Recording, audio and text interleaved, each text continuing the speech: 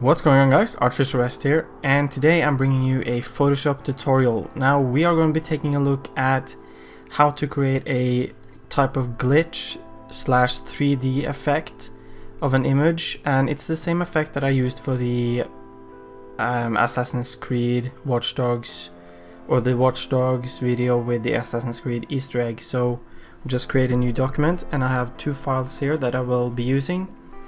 It's a background and just make this a bit larger so it doesn't get those black edges.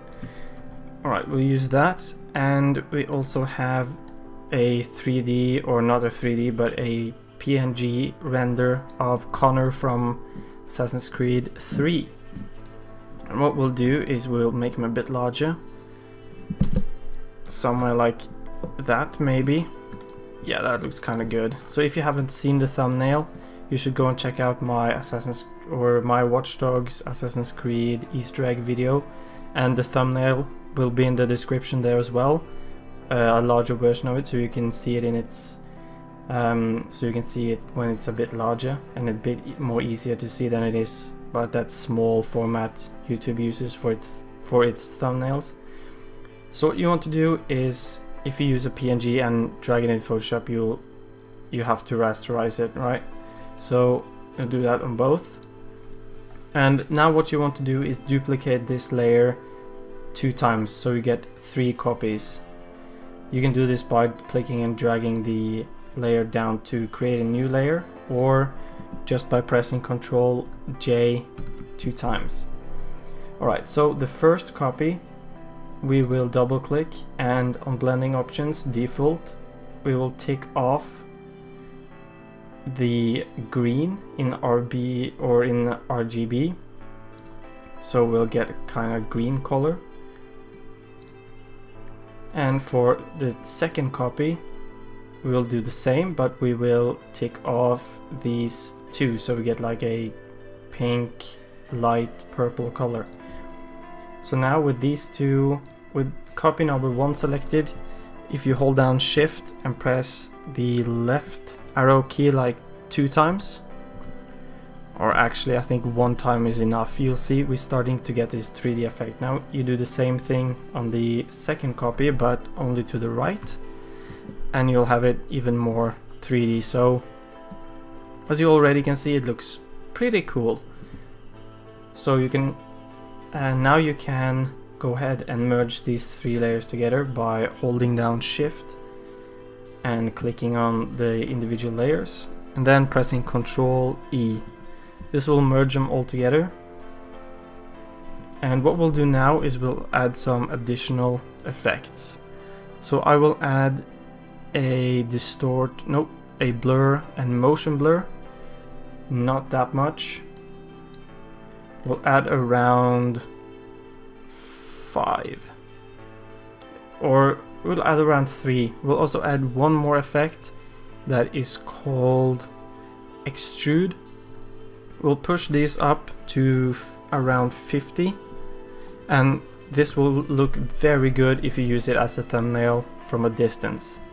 So if I now click OK, it should make small squares like sticking out of the, the image.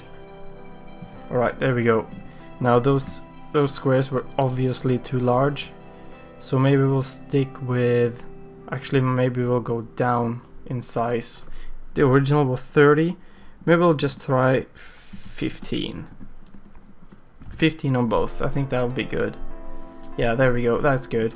Now, you know, when you see it on YouTube, this will might be like, maybe like this will be some sort of the indication of the size on YouTube. On the YouTube thumb thumbnail that will actually be shown and as you can see you can it makes it for a really cool effect.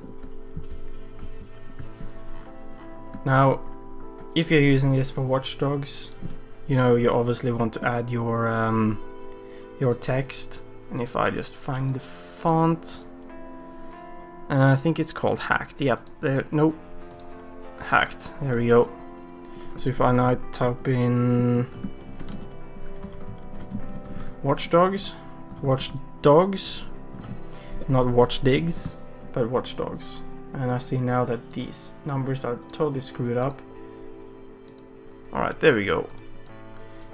And now we can just increase the size of this and you know add some uh, add some drop shadow to this to you know make it stick out a bit more you can also add a small stroke around it maybe a small black one so you know it will stick out from the background.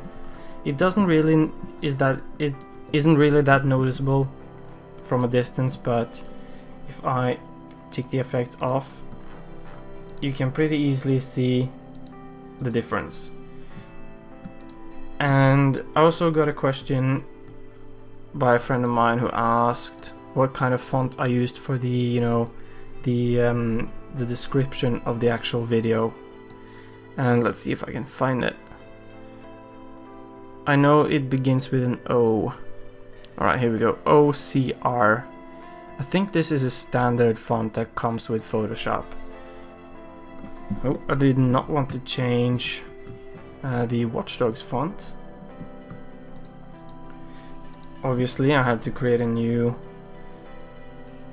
a new um, new layer for that. Uh, what should we call this? We'll call it glitch effect. Alright, so what we can do now is just mark this and just type in OCR. There we go. There we have the font that I use for the um, Watch Dogs description on the tutorials. So as you can see now we have this kind of this isn't really the focus. The focus is obviously you know the the glitched out character on the thumbnail. So so that's pretty much it. I uh, hope you guys have enjoyed this video and yeah I'll talk to you guys later.